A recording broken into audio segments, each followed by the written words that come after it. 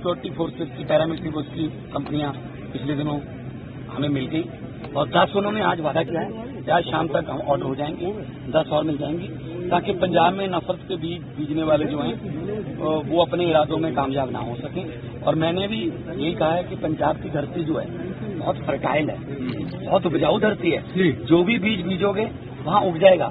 लेकिन नफरत का बीज पंजाब में बिल्कुल नहीं उग सकता।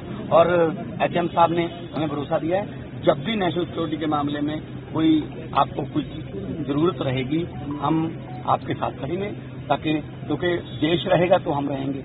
बाकी सरकारें मुख्यमंत्री ये मंत्री ये तो चलता रहता है। ये भी ये भी तभी रहेगा अगर लोग रहेंगे। देश, देश के लिए हम हमारी जान हाजिर है और पंजाब का भाईचारा पंजाब के लोगों में आपसी एकता ये किसी कीमत पर टूटने नहीं दी जाएगी